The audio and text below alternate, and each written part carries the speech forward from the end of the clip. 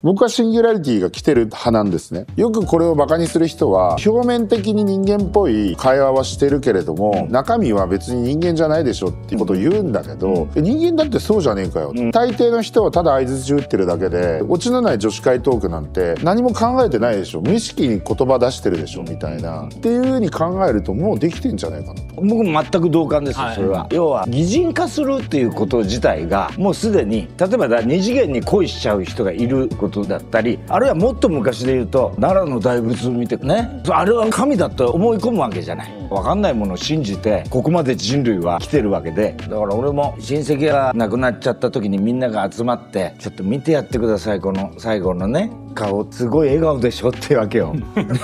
もう死んでるのに誰々さんが来て喜んでるからこんな顔してんのよってわけでそれは本当だねって言いながらでもそれは人間をまさに擬人化してて